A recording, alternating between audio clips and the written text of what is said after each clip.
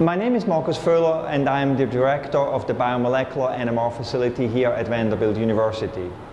As the name says, the biomolecular NMR facility deals primarily with biomolecules and we approach these biomolecules by doing some NMR measurements.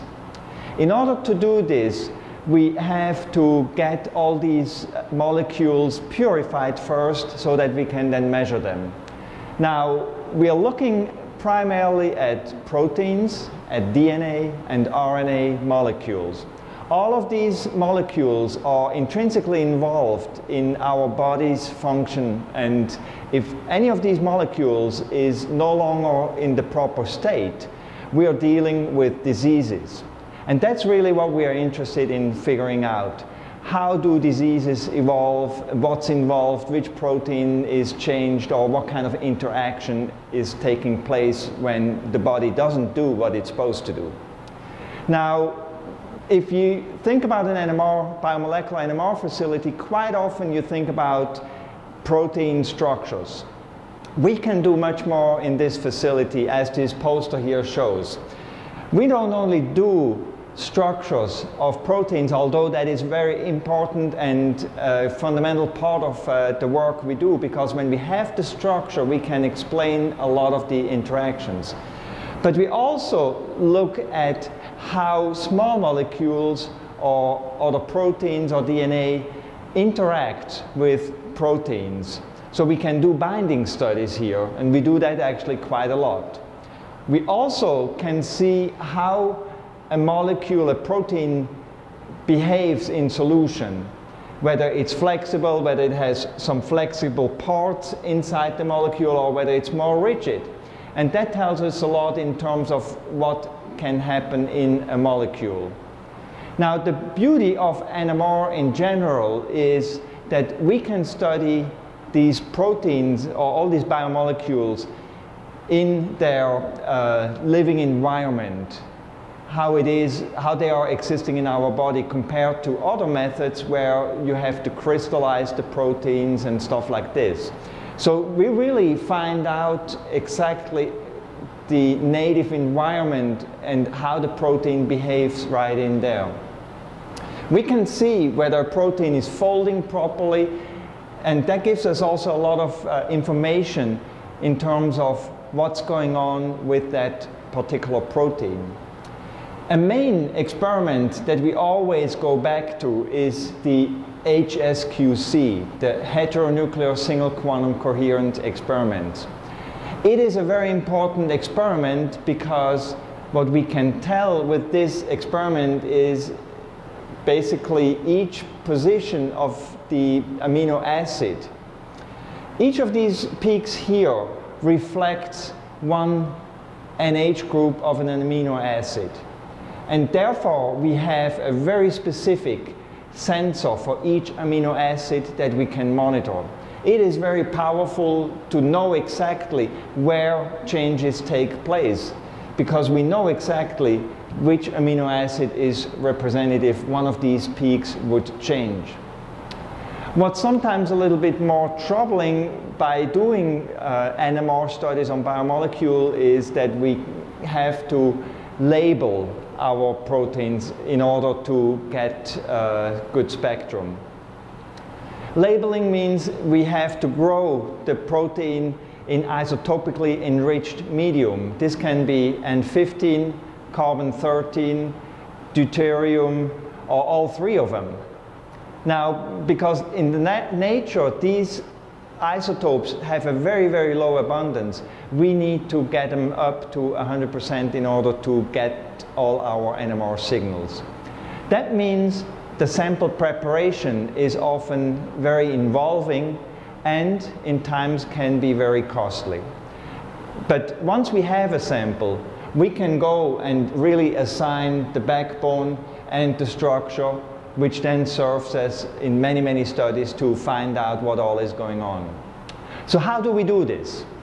Let's go down to the lab and see what kind of instrumentation we are using to get this kind of information.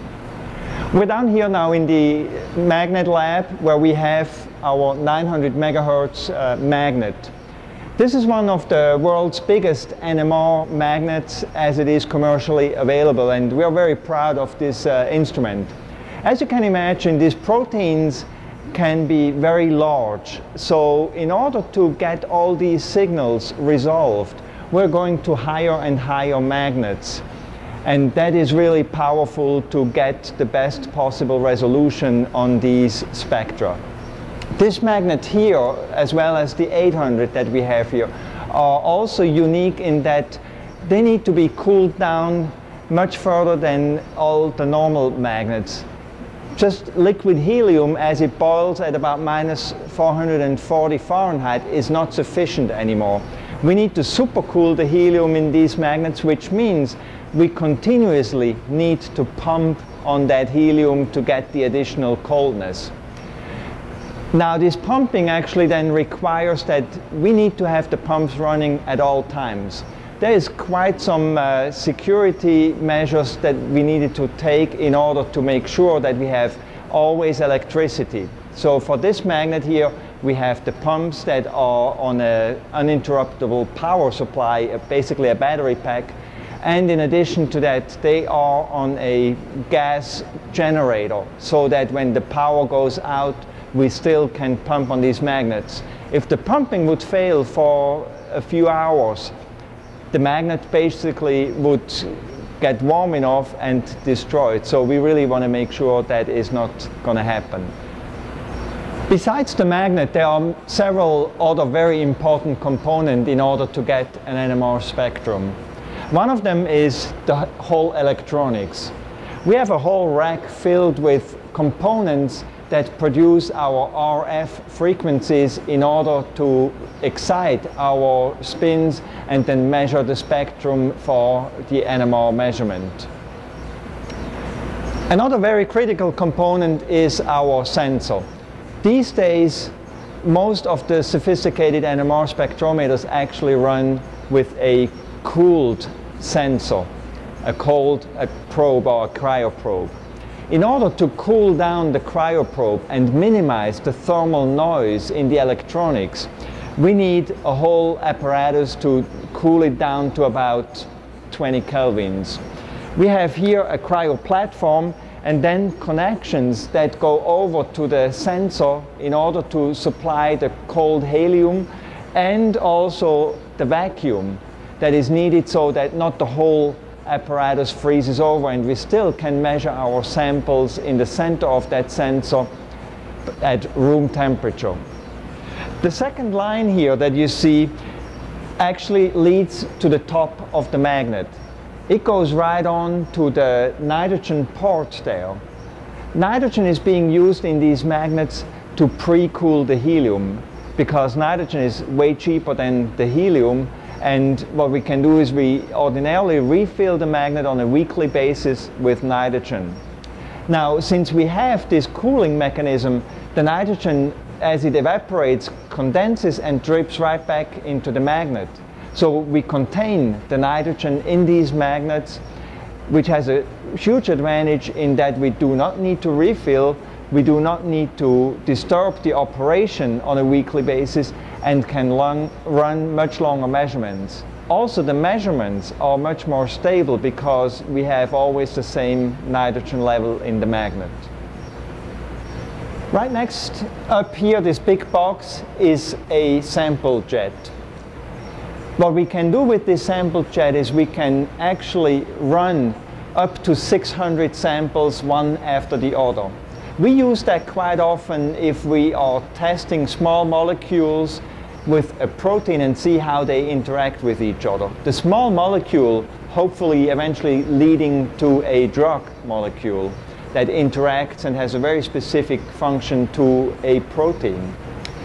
In order to do that, we have these 96 sample cartridges.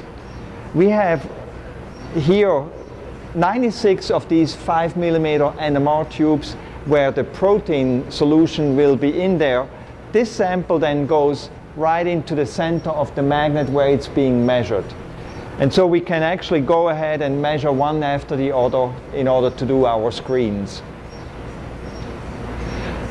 This is an NMR tube, how we prepare our samples that then go into the magnet. Right here you see our biomolecule that's in solution.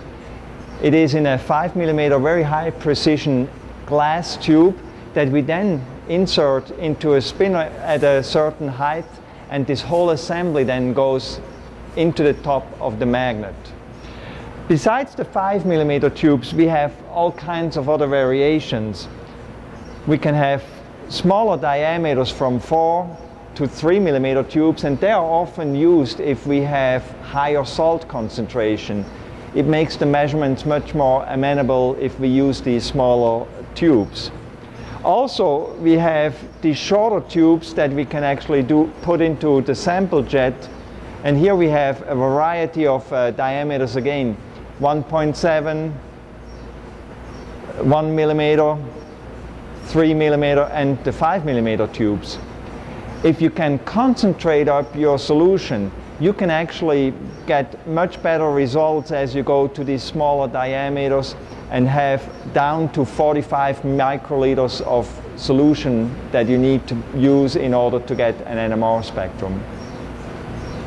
In addition to the 900 and the 500 megahertz spectrometer that we have just seen on the other side of the room, we also have a nice, uh, two nice 600s, one with a sample changer where we also can do all these screenings, and another one that has, uh, in addition to the proton, nitrogen, carbon, also a phosphorus channel, which is often helpful for RNA and DNA work. If you're interested in using this facility and have some uh, need to run NMR on your biomolecule, we would be more than happy to uh, talk to you on our web page, which is uh, listed here in the bottom of the screen you find more information and you also find the con contact information how you can reach us. There's also a lot more information about the facility, what we can do, what we have. So please feel free to take a look at uh, all these pages and find out. We'd love to get in touch with you. Thanks.